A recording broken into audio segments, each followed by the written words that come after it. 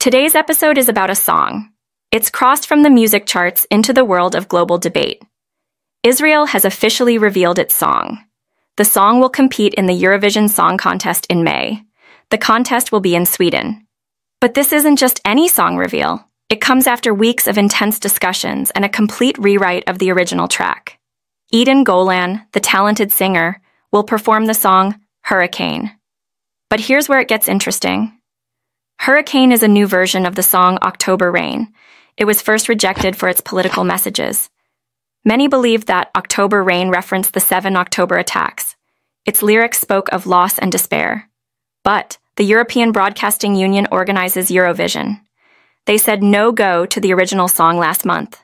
Faced with a tough choice, Israel's public broadcaster Kan decided to revamp the song. Now, one Hurricane tells the tale of a personal struggle. It avoids the direct references that made the original so controversial. Despite the changes, the music remains the same. It captures the emotion of the original.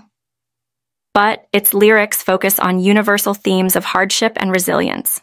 You can imagine this year has its challenges. They are for representing Israel at Eurovision. This is especially true given the current politics. Eden Golan herself expressed the weight of this responsibility. She stressed the need to use this platform to convey a message of strength and unity. But the story continues after the song's reveal. The decision to join Eurovision amid ongoing conflicts has sparked debate.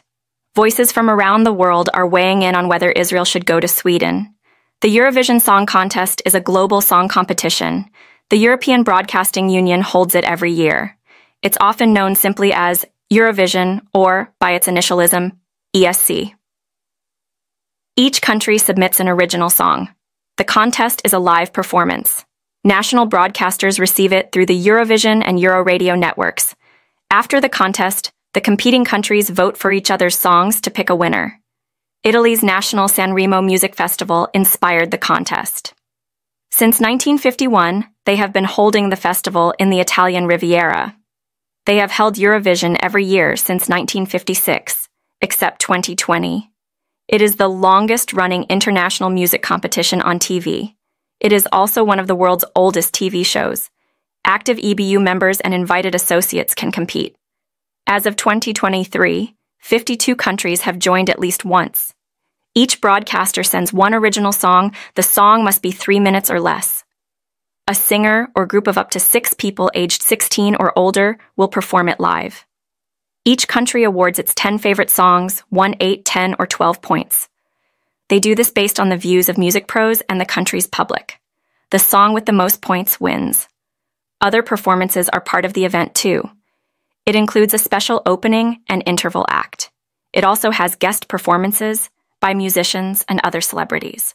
Past acts include Cirque du Soleil, Madonna, Justin Timberlake, Mika, and Rita Ora.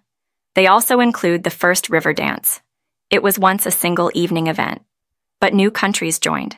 They included non European ones like Israel and Australia. This led to the addition of relegation in the 1990s and semifinals in the 2000s. As of 2023, Germany has competed more times than any other country. They have been in all but one edition.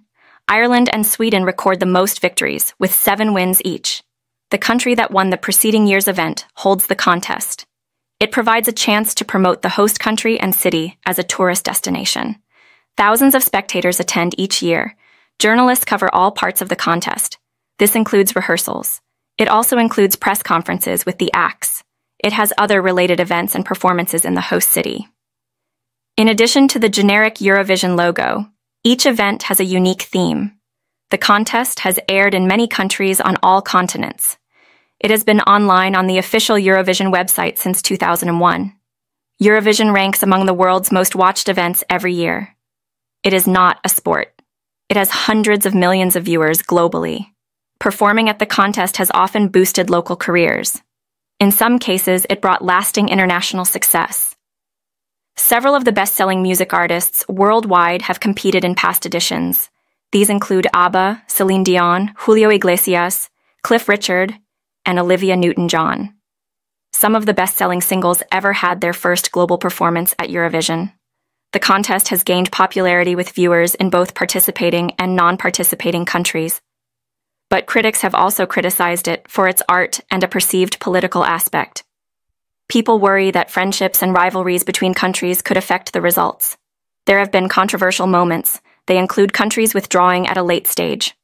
Broadcasters have censored segments,